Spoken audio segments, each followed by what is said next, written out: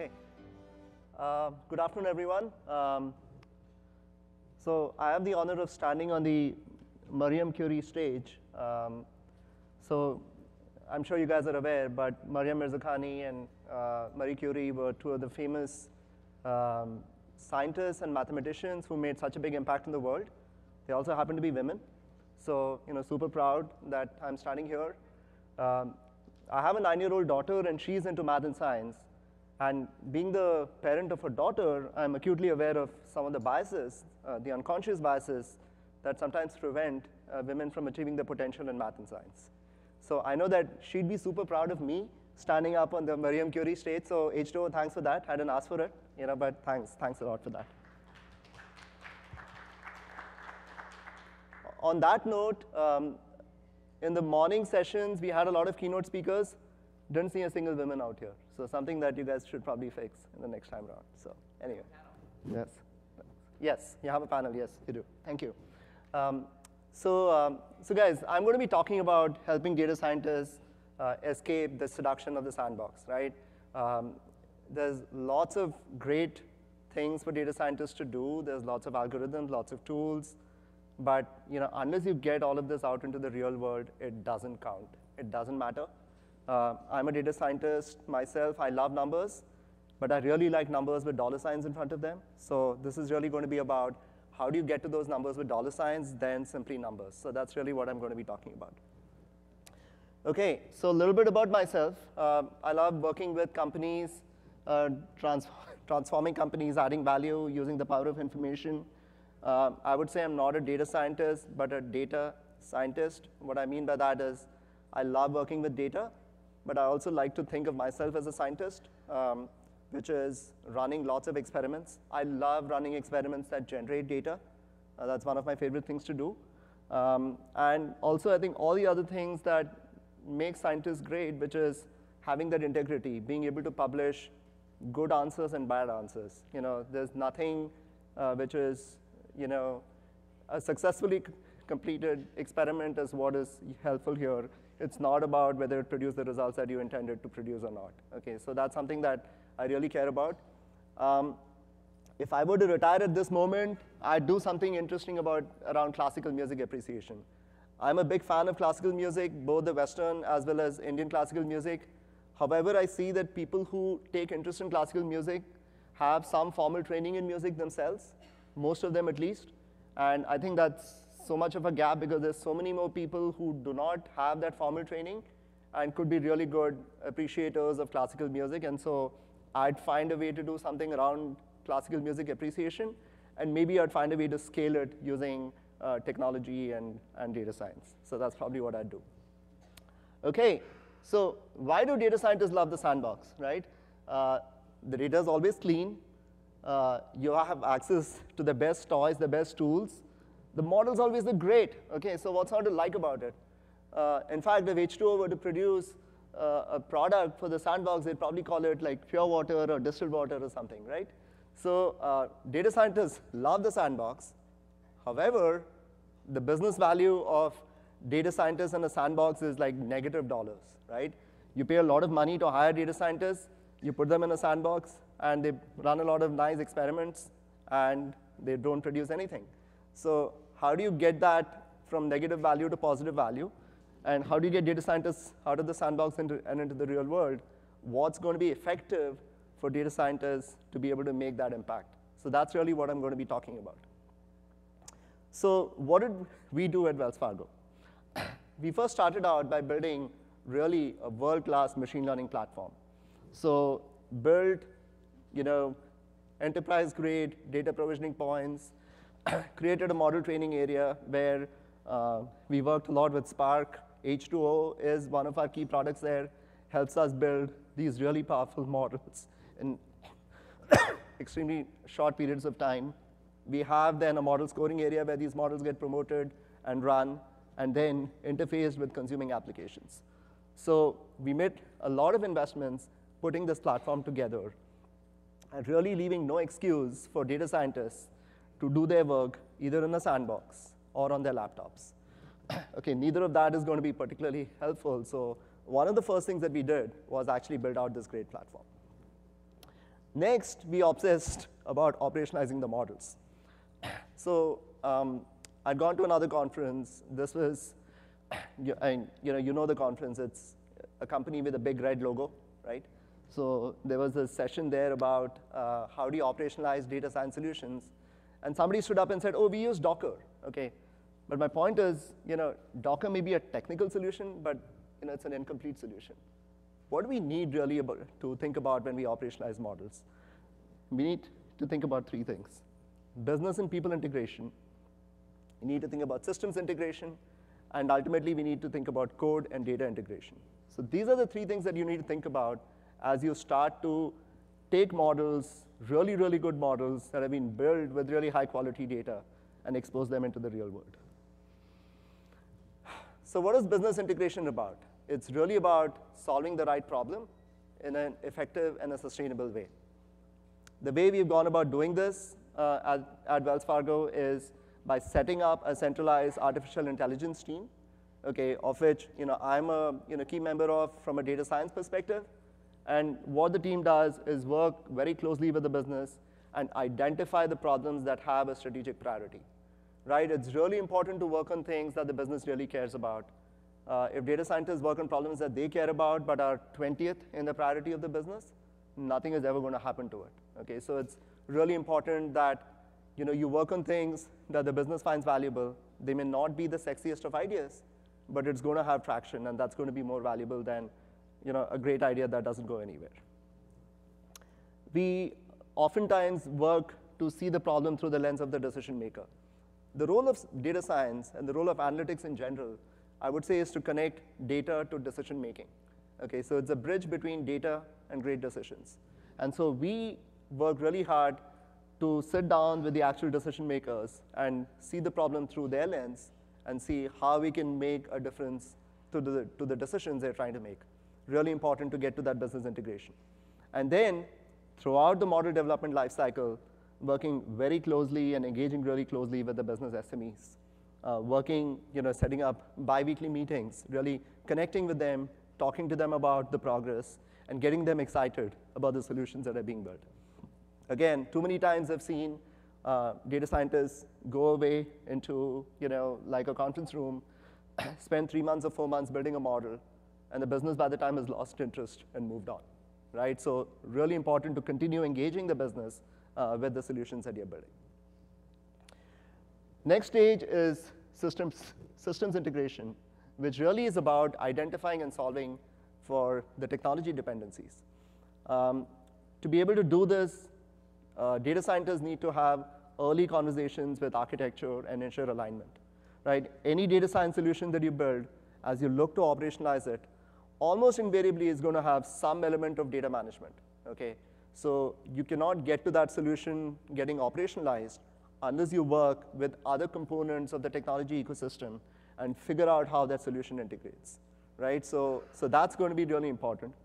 Um, we, on our platform, have designed for three different kinds of model deployment, and I'll get to that in more detail, but it's really to try and cover the generic forms in which uh, data science solutions get deployed. So like I said earlier, it's really important to integrate with the data flows uh, within the company. Um, a company has, obviously, every enterprise that you work with is going to have a large number of uh, business applications. Business applications are basically kind of software that really do something. Okay, so they are connected with operational data flows. What has happened historically is that a lot of the information or the data from these uh, applications have been put into analytic data marts. and these data marts is what you use for training your model. Once your model is trained, though, the, mo the model needs to be integrated back into those operational flows. And that is what makes this entire exercise challenging, as well as, I think, you know, very rewarding when you get it right. Okay, so it's really important to integrate your model with those operational flows. So what are the ways in which, like I said, you know, we, we've tried to do that at the bank? Um, we try to come up with three ways in which models are scored. Batch scored models, okay, where what you're working on is largely historical data. These are models for house price predictions, risk management models, targeting models for marketing campaigns. these are all examples of matches of batch code models. Second, the model that is available as a service. Okay, so you make an API call from an application and you respond back with a model prediction. These are uh, models that, again, rely on historical data and real-time data. Okay, so those are examples of uh, models that are deployed as a service. And finally, we've got, you've got embedded models, okay, where the predictions are basically reliant on real-time data. Example of this is a lot of the virtual assistants that, that you, know, you encounter in the world, which you know, rely on you know, what you're talking about and respond back to that. Okay? So these are the three generic types of deployment that uh, we've been working together with our technology partners at Wells Fargo uh, in order to be able to support a wide variety of use cases uh, when it comes to machine learning.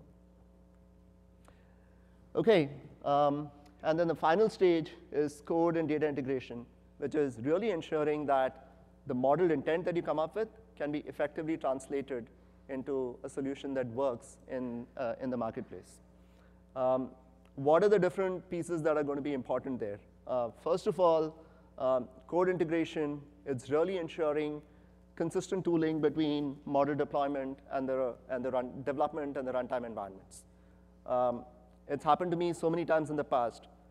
I've developed a model in Python, and the IT team wants to take that model and convert it into Java. Okay, they want to rewrite the entire model uh, because they don't run Python, uh, the data scientists don't know Java, and there's a disconnect. Okay, so it's really important to make sure that we have consistent tooling that allows uh, Python model uh, to be um, run in a Java-based environment, or have tools like H2O that allow Python models to be converted to Java models and run automatically.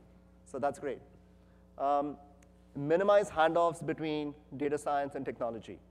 Anytime uh, when you build, a model as data scientist, uh, anytime somebody else needs to take that model and rewrite the code, there are going to be errors. There are going to be delays, okay?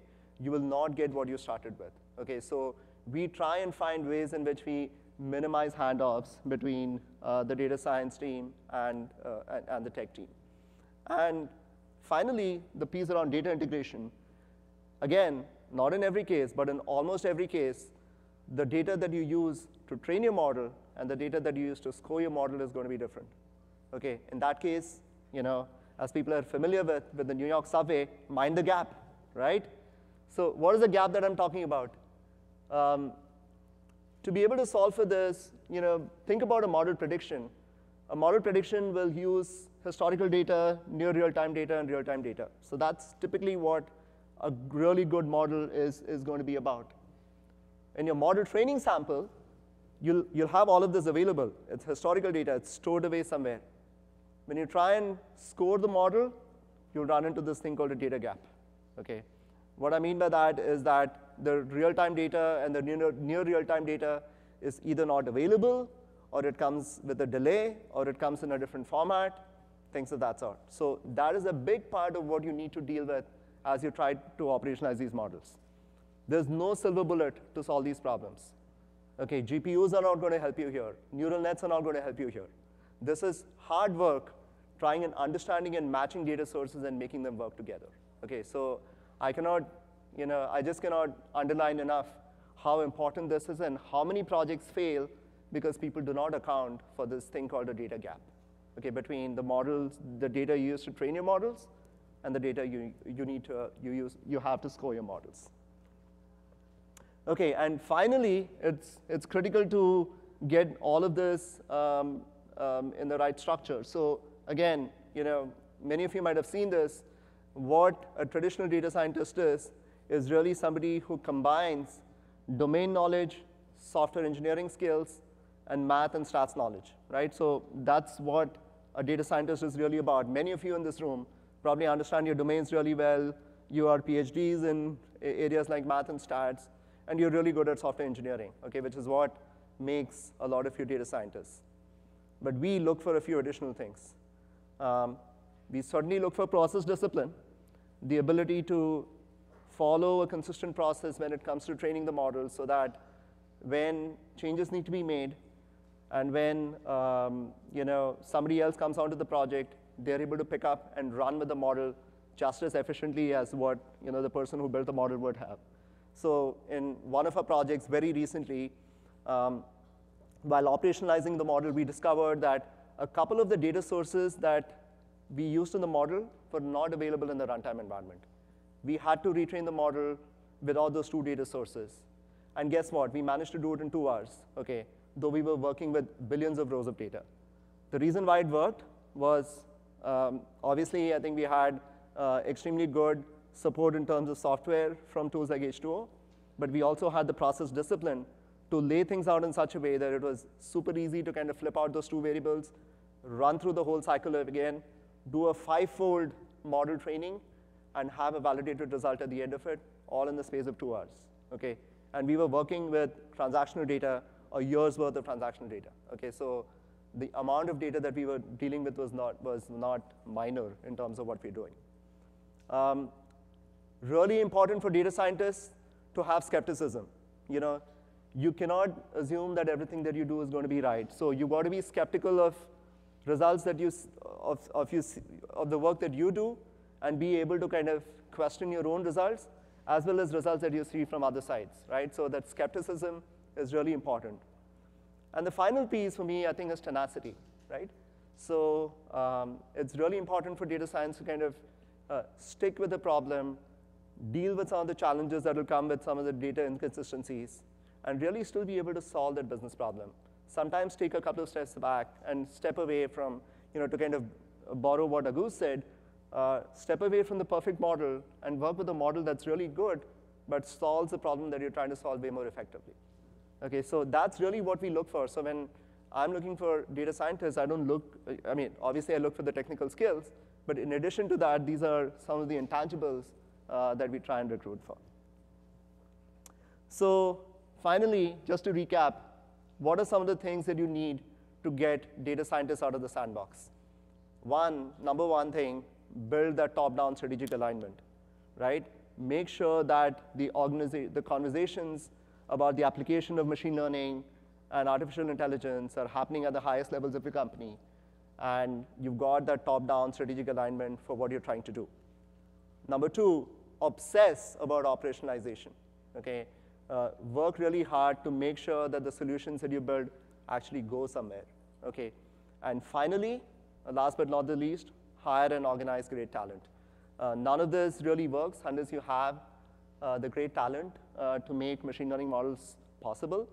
Um, I, you know, I'll go back to what, uh, again, um, Sri said at the start about Endaro Mahanubhavulu, okay, which means, you know, welcome all the great minds who've come here. So you need great minds and people who've got that deep understanding uh, for people to be successful, and that's where that great talent is going to be so important. So um, thanks a lot. Um, if your company is doing these three things, uh, great, right? If they're not, we are hiring, so please come and work with us.